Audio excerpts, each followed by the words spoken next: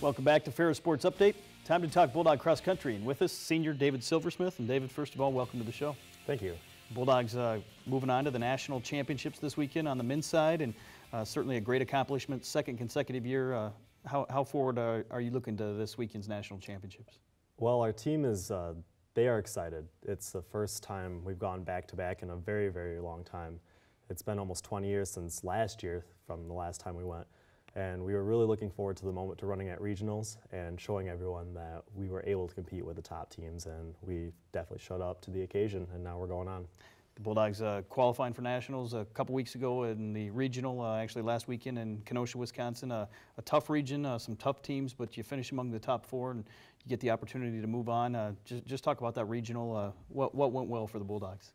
Well, the, the Midwest Regional is one of the, the toughest regionals in the country for Division Two.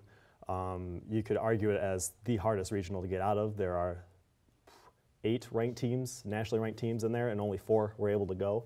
Um, we somehow was we were able to run with uh, where we needed to be at, and we were able to qualify. Uh, a lot of the teams that were ranked ahead of us, we knew we could beat based off earlier races, and it turns out when the distance changed from an 8K to a 10K, we proved who was better at the distance. The Bulldogs uh, finish uh, among the top four. You personally uh, finished among the top 15 to earn all region honors. Con congratulations Thank there. You. And, uh, just talk about your race uh, and, and how that went. Uh, the, the course was pretty in pretty rough shape. Um, there was a couple downhills that were muddy. it was definitely a tough course for everyone to run at. I my race personally was uh, an interesting story. Actually, I I came out in the first mile, right around 55th place to 60th place, right around a 5:20 first mile split. And at that moment, when I saw the time at the first mile marker, I was like, all right, I have to start moving ahead, or we're not going to have a chance to qualify. And from there on, over the next five miles, I was able to move up all the way into the top 20 and then into the top 15 where I finished. The Bulldogs this weekend uh, will take part in the national championships in Spokane, Washington. Uh, a long trip. Uh, uh just talk about uh, the itinerary for the Bulldogs uh, when you get to Spokane and, and how you get ready to race. Well, we're taking off. we're going to stay in Grand Rapids on Wednesday night, and then we have a very early flight from Grand Rapids to Minneapolis and then out to Spokane. We're going to run at the course on Thursday, and then we're going to find some place to run on Friday as well when it comes to race day, uh, I believe our race goes off uh, Pacific time right around noon to 12:30, so it'll be about 3:30 here Eastern. Uh, we have the same game plan as we did going into regionals to basically sit back and wait for the race to come to us and then go for it. We a lot, a lot of time when we've been racing, we've struggled to actually get ourselves into the race and into the position early enough to where we need to be. But in regionals, we were able to do that, and now that we know what we need to do for sure, I think we'll perform well when we get out there. How do you, uh, what do you expect in terms of the weather conditions? Uh, obviously, in the in the Northwest, a little bit different uh, terrain. Uh, how, how does that have an impact on, on the race? The course itself is actually flat, but being in eastern Washington, uh, the elevation's a little bit higher. Um, as for the weather, I'm not really sure how it's supposed to look right now. I haven't really thought thought about it. Um, I think we'll be fine regardless of the weather, given the past couple days that we've had here in Big Rapids. Uh, everything from rain to snow to wind to thunderstorms to tornadoes, even. I mean, if we can deal with this here, then we can deal with anything out there. The Bulldogs uh, certainly uh, had to battle some weather conditions uh, times this year. Uh, a couple weeks ago at the GLIAC Championships in Houghton, Michigan, uh, an another cold and, and kind of rainy day. Yeah, the, the GLIAC Championships, uh, that was a race that I was looking forward to kind of. Uh, it was a very tough course. There were a lot of elevation changes. Um, we knew we weren't going out there to basically show our stuff, show what we were made of yet. We didn't want to go out there and give it all we had and not be prepared for the regional meet. We were content with where we finished. Uh, that, that put us under the radar for the regional meet coming in that everyone kind of kind of counted us out. We dropped to eighth in the regional rankings. And uh, we knew that as the distance got longer and as the course got tougher, then we would be able to show that we were stronger than everyone else out in the field. In addition to the men's team qualifying uh, for the second straight year, uh, Samantha Johnson on the women's side uh, wins the women's regional mm -hmm. championship. She'll compete at nationals as well, and uh, certainly uh, she, she had a great race as well.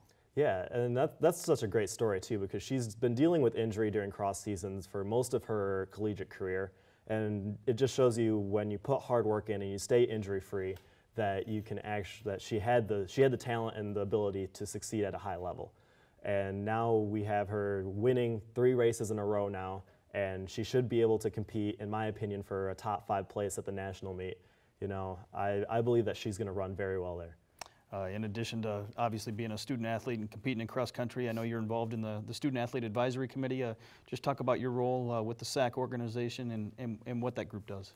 Well, I am the president of the Student Athletic Advisory Committee here on, at Ferris State, and then I am also the chairperson of the GLIAC Student Athletic Advisory Committee.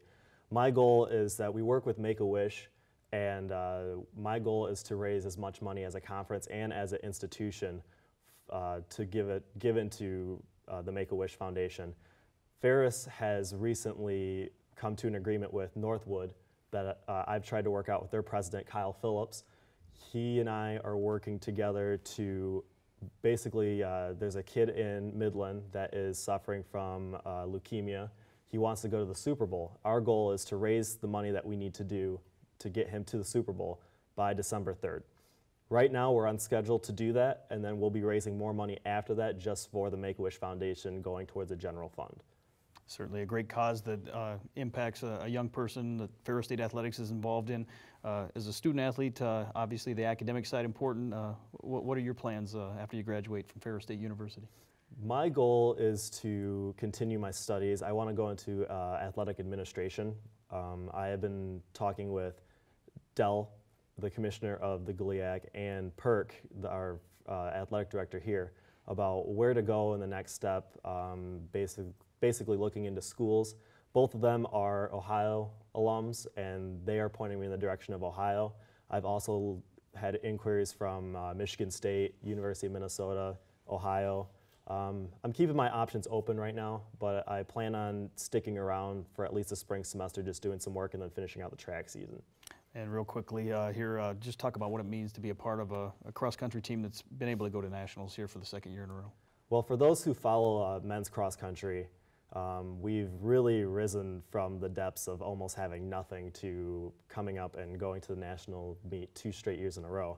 Uh, my freshman year, I was redshirted, and my sophomore year, we finished below the below 16th in the region, and it shows that the guys that we have, how close they are, how much dedication we have, and we keep each other accountable to each other to make sure that every summer we're doing all the mileage we need to do, all the things to stay injury free, healthy, and to make sure that we're staying eligible. Um, I wouldn't trade this experience for the world.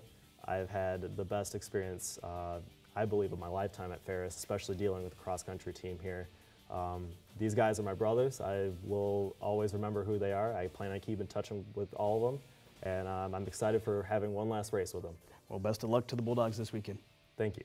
This has been another episode of Ferris Sports Update. You can follow all the action online at ferrisstatebulldogs.com.